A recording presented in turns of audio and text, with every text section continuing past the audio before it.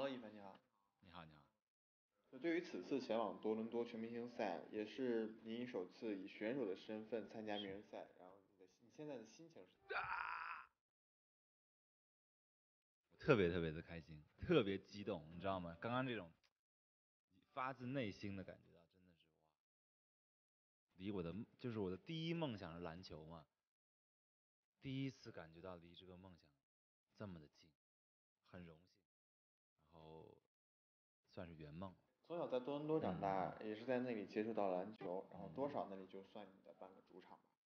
然后你能不能给我们预测一下你的表现会怎样？不太敢预测，说说句实在话，因为我知道这个，咱们看，比如去年的这些都会有一些，比如专业的女篮选手啊，包括退役的一些老将啊，那都是非常有实力的。然后还有一些很厉害的一些人啊，经常打球的，所以。不太好预测，但是我一定会尽全力的，因为这是真的是我的梦想。最近有没有为名人赛做一些什么准备呢？就是比如说啊秘密特训之类的，然后如果有的话，你现在着重训练的是哪些方面？有的，这段时间确实比较着重于这个力量上的训练，因为确实这个对抗啊那边一定会非常强的，所以现在以我现在这个身板的话，估计会被撞飞，所以这段时间我必须要增肥一下，所以说。在这我要跟这个跟我这些粉丝朋友们说一声啊，这段时间要是我胖了啊，你们见谅一下，这是我的梦想啊。这个过程必须先要有有有有有这个脂肪转化成肌肉。最近估计比之前重了有差不多，到目前为止应该已经有五公斤了吧，而且还在加，还在加，我觉得必须要加。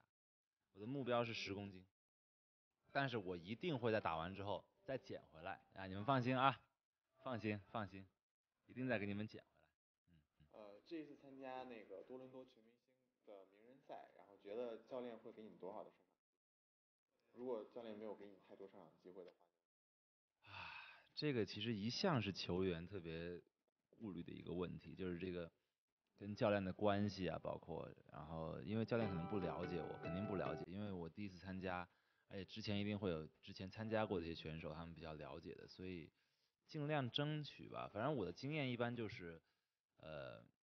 无论任何时候，包括这个练习，之前肯定会有一个练习嘛，肯定会有一个呃大概的一个战术的一个一一一个走位之类的，那个时候可能就要拼尽全力啊，多这个专注一些，给这个教练留下一个好点的印象，也许就能上场时间多一些，稍微讨好一下教练。作为中国首位参加名人赛的艺人啊，会不会有压力？然后是如何解压的坦白说，我第一次我有了使命感，这次你知道吗？我觉得我得为咱们这个就是咱们中国人，咱们华人得争个光啊！作为这个第一次这个出现的这种华人面孔的话，我觉得坦白说，我是特别希望能够表现的好一点。如果你觉得自己表现没有达到预期的话，一定会很难过。对，看当时的情况，如果说发挥不太好的话，啊，应该心里面。后面就再也就没想了，也许我这打的不太好，也许我就不好意思回来了，我就 我就就对我希望真的能够，我会尽全力在这个演艺工作进行的同时，抓紧所有时间去练球，希望能够有一个啊大家看起来非常有意思的一场球赛，能够给大家。